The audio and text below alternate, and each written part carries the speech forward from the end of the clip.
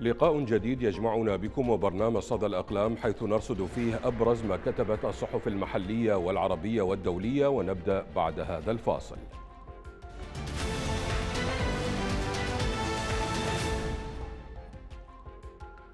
السلام عليكم يقول الكاتب رعد أطياف في مقال بموقع ألترا عراق. لم نعد نسمع عن اغتيال بالكاتم أو خطف في العراق من قبل الميليشيات لكن المسألة ليست بهذه السهولة على الإطلاق. فحتى لو غيرت الأفعى جلدها فهي محافظة على سميتها شديدة التركيز إذ يكفي لدغة واحدة أن ترديك صريعا ومشلولا بلا حراك. لكن السم هذه المرة ليس كاتما وليس بالضرورة أن يكون موتا فعليا وإنما موتا رمزيا عن طريق الاغتيال السياسي. وهذا الأخير إجراءاته شرعية تماما. إنه القانون والاحتكام للقضاء والبقاء على الأيدي نظيفة وبيضاء من كل سوء بمعنى أن الميليشيات سيطرت على القرار السياسي والتشريعي والقضائي في العراق. أنت لا تحتاج أن تقتل ضحيتك برصاصة الكاتم وتقضي على أحلامه وتفجع أحبابه وتنهي كل حياته بلحظة واحدة. ما عليك سوى اللجوء إلى القانون وأن تدير الحبكة جيدا هل لديك مشكلة في عدد مقاعد البرلمان؟ هل تتخوف من مستقبلك السياسي من رجوعك إلى الخلف والهيمنة من قبل أغلبية لا يمكن التنبؤ بسلوكها ويمكنها أن تبدد كل أحلامك؟ ما عليك سوى تأويل مفهوم الأغلبية أو تأتي بما يسمى الثلث الضامن ومن ثم وبقدرة قادر تغدو أنت أغلبية وتتحكم بالمشهد السياسي برمته لا بل يمكن إقرار موازنة لثلاث سنوات. ويمكنك أن تلغي مجالس المحافظات على إثر القوة التشرينية الصاعدة آنذاك. ومن ثم يمكنك بعد امتصاص الغضب ونسيان الضحايا وفساد القوى السياسية الناشئة بعمومها وانخراط البعض منهم مع أعداء الأمس. أقول يمكنك أن ترجع مجالس الانتخابات بهذه العبارة السحرية. الإلغاء ليس دستورياً. كل هذه المراحل لا تحتاج إلى حرب أهلية ولا هي مستعدة لإخراج الكواتم السوداء مرة أخرى وليست ثمة ضرورة لإخراج الملثمين من زواياهم الكئيبة مرة أخرى ربما هم الآن في مراكز تجارية واقتصادية مرموقة. هل تتخوف من شخصيات سياسية يحتمل أن تتمرد يوما ما؟ عليك أن تكون محترفا في النبش في الملفات واختيار اللحظة المناسبة. عليك فقط أن تتعلم تكتيكات الاغتيال السياسي. من صحيفة المدى نقرأ تقريرا للكاتبة تبارك عبد المجيد بعنوان آه، عراقيون لا يثقون في مصارفهم. ومصرفيون يكشفون النقاب عن الأسباب. تقول الكاتبة إن أغلب العراقيين يتجنبون إيداع أموالهم في مصارف الدولة أو حتى الأهلية يفضلون جمعها في خزائن البيت إذ يعتبرون تركها داخل وسائد النوم أكثر أمانا من استخدام الخزائن البنكية. تضيف الصحفية أن بعض الموظفين يديرون مهنتهم بشفافية ومصداقية حيث يقومون برصد المخالفات وتبليغ البنك المركزي ومع ذلك يقوم بعضهم عند رصد المخالفات بممارسة الابتزاز على المصارف وتصل المبالغ إلى 200 مليون أو يتلقون أراضي كتعويض مقابل تسترهم عن هذه المخالفات. وتقول الموظفة ساهرة شاكر 56 عاما في حديث للمدى ظننت القرض الذي أعلنت عنه الحكومة سينقذ وضعي وسأتمكن من بناء بيتي أخيرا والتخلص من تكلفة الإيجار. لكني وجدت أن القرض بات حملا ثقيلا يستنزف دخلي الشهرية حيث وجدت نفسي أقترض لتلبية احتياجات المنزل. وتردف أنها تسدد القرض الذي أخذته من أحد المصارف الحكومية منذ خمس سنوات تماما مشيرة إلى أن نسبة الفائدة مبالغ فيها خاصة أنه من المفترض استهداف القروض للطبقات غير المتمكنة إلا أن ذلك زاد من العبء عليهم. ومن جانبه يعبر المواطن عادل محسن عن استغرابه هو الآخر من وجود أفراد يودعون أموالهم بأمان تام في المصارف العراقية في ظل انتشار الفساد والاستغلال الذي أصبح واضحاً. ويقول للمدى إنه لا يثق بكافة المصارف الحكومية والأهلية بناء على سماعه للعديد من المشاكل التي يتعرض لها المودعون لافتا إلى أنه يكتفي فقط بتخزين أمواله في بيته بكامل الثقة بوضعها تحت الفراش أو داخل خزانة الملابس. ونبقى مع صحيفة المدى حيث يرفض العراقيون إيداع أموالهم في مصارف الدولة لأن هناك عملية استغلال تتم من خلال احتجاج جواز المواطن وسحب الأموال عبره ويتم إخبار المواطن بأن جوازه غير صالح أو عندما يأتي الزبون لسحب أمواله يتم إخباره بوجود رسوم عليها. وفي هذا السياق يشير الخبير الاقتصادي أحمد عيد إلى أن القطاع المصرفي في العراق يعاني من تشوهات في هيكلته العامة مثل نقص التمويل وضعف الإيداع النقدي من قبل المواطنين. ويعزو سبب تجنب الأفراد للإيداع إلى غياب التسهيلات والعروض التي تحفز المواطنين على وضع أموالهم في المصارف الحكومية أو الخاصة. ويؤكد غياب الثقة في القطاع المصرفي من قبل المواطنين مرجعا ذلك إلى السياسة المالية التي يتبعها البنك المركزي خاصة بعد حدوث عمليات تلاعب في أسعار الصرف وعجز السلطة النقدية في التصدي لهذه الأزمة. هناك مصارف ومكاتب للصيرفة تخضع لسيطرة بعض الأحزاب والجهات المتنفذة ما يجعل سوق المال العراقي والقرار الاقتصادي العام في قبضة تلك الأطراف. ويردف الخبير الاقتصادي أن هناك إهمالا ونقصا في الاهتمام مع التحذير من انتشار الرشوة والمساومة من قبل موظفي البنوك. وأشار إلى الطرق التي يستخدمونها مثل بيع الدولار للمسافرين الذين يدفعون الرشوة مباشرة بهدف تسهيل إدراج أسمائهم ضمن منصة بيع الدولار. نسبة الفائدة التي تطلبها المصارف كبيرة ويشوبها عدد من الملاحظات. مشيرا إلى أنه يتم فرض نسبة فائدة 8% لمن يودع أمواله أي 80 ألفا لكل 100 مليون. كما يتم أخذ نسبة أرباح تصل إلى 60 في المئة عند منح القروض. وتعتبر هذه النسب مؤشرا على عدم دعم الحكومة للقطاع الخاص عكس مزاعمها. من موقع عربي 21 نقرأ مقالا بعنوان هدم ألف مسجد في قطاع غزة حيث يقول هذا التقرير. يأتي تدمير المساجد في سياق تدمير كل مقومات الحياة البشرية في غزة. المستشفيات المدارس الجامعات الكنائس الأبراج السكنية منازل الناس والدوائر الحكومية والبنى التحتية من شبكات المياه والكهرباء والهاتف. لم يبقى شيء لم تطله أيديهم المجرمة. حتى المقابر تم الاعتداء عليها بتجريفها ونبشها. يقول الكاتب أيضا ضرب المساجد هو مقصود بذاته لما كانت تقوم به في زراعة القيم الدينية التي تنتج حرية وثورة وتنتج الإنسان الحر الممتلئ عزة وكرامة. وبالتالي الإنسان الحر القادر على التحرير والوقوف في وجه طغيان المحتل وفجوره. ويعبر تدميرهم لألف مسجد هذا الرقم المهول عن غيظ صدورهم وأنهم قد فقدوا ما تبقى من عقولهم. أناس أصبحوا متوحشين بلا عقل ولا خلق ولا حتى أي صلة بصورة يريدون أن يصدروها للعالم عن أنفسهم. ولو تمثيلا يخالف من طوت عليه صدورهم من غيظ وغل وحقد. عندما يظهرون فرحهم على مشهد المسجد وهو يهوي بفضل متفجراتهم فإنهم يصدرون بذلك للناس أبشع صورة ممكن أن يحملها إنسان على ظهر هذه الأرض. كذلك كما فعلوا وهم يفجرون المشفى المعمداني ومجمع الشفاء وجامعة الإسراء والمربعات السكنية الكاملة. للمساجد قداسة خاصة ولها رمزية ذات دلالات عميقة وعظيمة في نفوس المسلمين وكل أحرار العالم.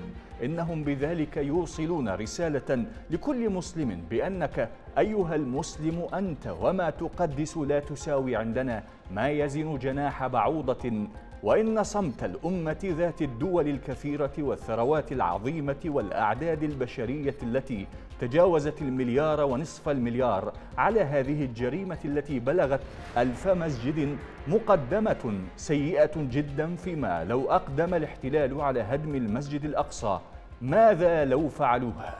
هل ننتظر بعض المظاهرات والغضب الجماهيري العاطفي هنا وهناك دون التحول إلى فعل حقيقي موازن لحجم الجريمة. نشر موقع وكالة بلومبرج الأمريكية تقريرا بعنوان مقاطعة ستاربكس وكوكا كولا بسبب حرب غزة تعزز منافسيها في الشرق الأوسط. أكد أن حملة مقاطعة العلامات التجارية الأمريكية مثل ستاربكس وكوكا كولا عززت أعمال المنافسين المحليين لها في الشرق الأوسط. ولفت التقرير إلى أن الكثيرين في العالم العربي والعالم الإسلامي مثل باكستان اندفعوا بغضب ضد الولايات المتحدة وأوروبا لعدم الضغط على إسرائيل ووقف الحرب على غزة حيث توقفوا عن شراء العلامات الأجنبية بشكل خفض من مبيعات بعضها وخلق صداع علاقات عامة لها. تراجعت حصة سلسلة مطاعم أمريكانا الدولية وهي الشركة المسؤولة عن دجاج كنتاكي وبيتزا هات وكريسبي كريم وهارديز في الشرق الأوسط بنسبة 27% في سوق البورصة السعودية وفي الفترة التي أعقبت الحرب حيث توقع محللون أن مبيعاتها ستتأثر بسبب الحرب وهي بحسب التقرير ردة فعل تعكس عصرا جديدا في كيفية إدارة الأزمات في عالم الماركات الاستهلاكية الكبرى حيث يخلط المشترون الغاضبون بين التجارة وسياسات الحكومات. ونقل التقرير عن فواز جرجس أستاذ سياسات الشرق الأوسط في مدرسة لندن للاقتصاد قوله إن عمليات المقاطعة مثيرة لأنها كثيفة وعابرة للدول ويقودها السكان الشباب وحتى الآن سواء ماكدونالدز أو ستاربكس. فقد تضررتا مضيفا أن الشبان هم من الذين ينفقون بشكل واسع وواعون كذلك في نفس الوقت بما يجري وناشطون جدا.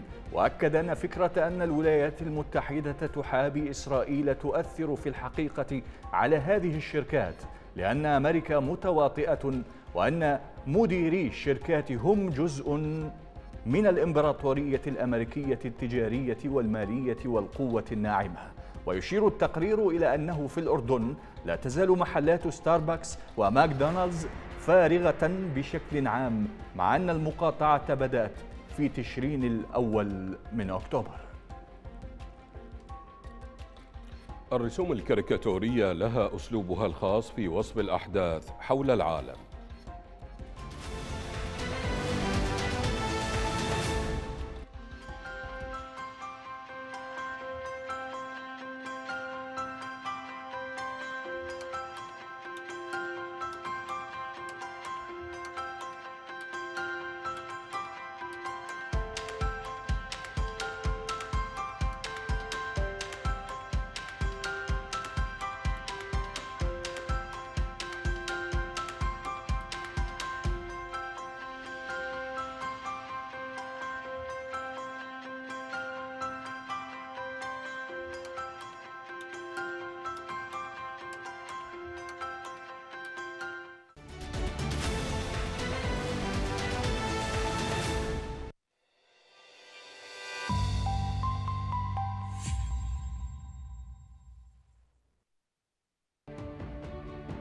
بلا جدران تقيهم حر الصيف وبرد الشتاء. أخرجوا من ديارهم غائبون لا صوت لهم. وبلدهم يطفو على بحر من النفط تصارع أكفهم قسوة الحياة. هدموا كل ما هو جميل وأساءوا لحاضرة الدنيا. حتى استغاث منهم تراب الرافدين. لكن أحفاد ثورة العشرين سيكسرون القيد. ويبذلون المهاجاة ويعيدون الحياة. لن تكتم الأفواه ولن تحبس الألسن. فنحن صوتكم.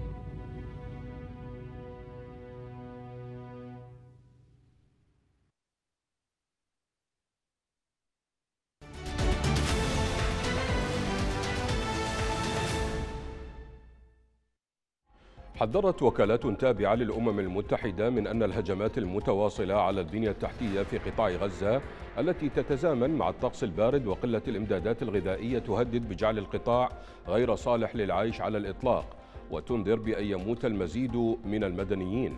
أسفر العدوان الإسرائيلي على غزة عن مقتل أكثر من 26 ألف فلسطيني. وهناك تخوفات من وجود آلاف آخرين مدفونين تحت الركام فضلا عن إصابة نحو 70 ألف شخص. وتشريد معظم السكان البالغ عددهم مليونين وثلاثمائة ألف نسمة الذين يواجهون نقصا حادا في الغذاء والماء والدواء. كما أن معظمهم ليس لديه ما يكفي من الملابس أو الأغطية وبالكاد يمكن إيصال المساعدات الإنسانية إلى شمالي القطاع حيث يفرض جيش الاحتلال حصارا خانقا. واعتبر مدير مكتب الأمم المتحدة لحقوق الإنسان في الأراضي الفلسطينية المحتلة أجيت سونغاي أن انتقال القصف والقتال من شوارع خان يونس إلى رفح جنوبا سيسفر عن وضع كارثي لنحو مليون وثلاثمائة ألف شخص نزحوا إلى المدينة الصغيرة المتاخمة للحدود المصرية في محاولة للبحث عن منطقة آمنة من القصف الإسرائيلي.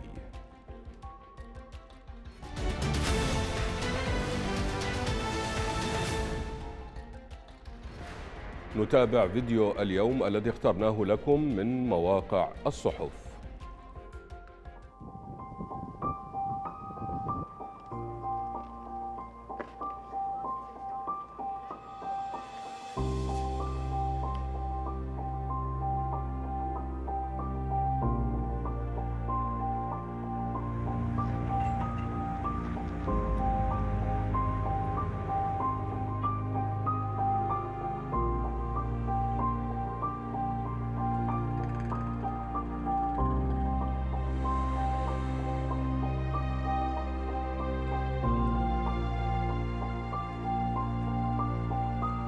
بعد ما أكلنا الرعبة في الزلزال يعني كل ما يصير هزة ارتدادية أو مطر أو لمع نخاف نطلع لبرا نلجأ للشارع أو لشيء مطرح يكون مدرى نطلع من البيت.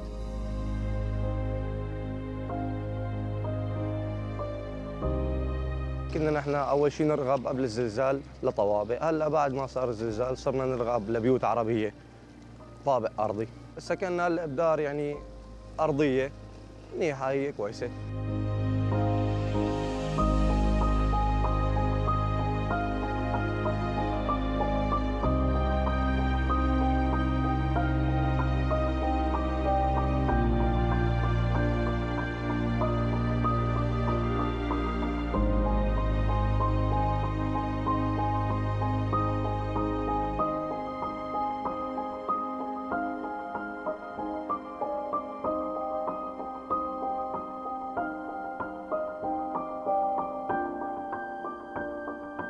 كان الإقبال كويس عادي أو طبيعي فينا نسميه لكن بعد الزلزال آه، بين معنا الفرق. فصار عندنا يعني إحجام عن الشراء المساكن العالية وهون صار عندنا النسبة انخفضت. يعني 10 20% صار إقبال على الأبنية والباقي صار يفضل السكن في الأبنية المنخفضة أو الطابقية الأول.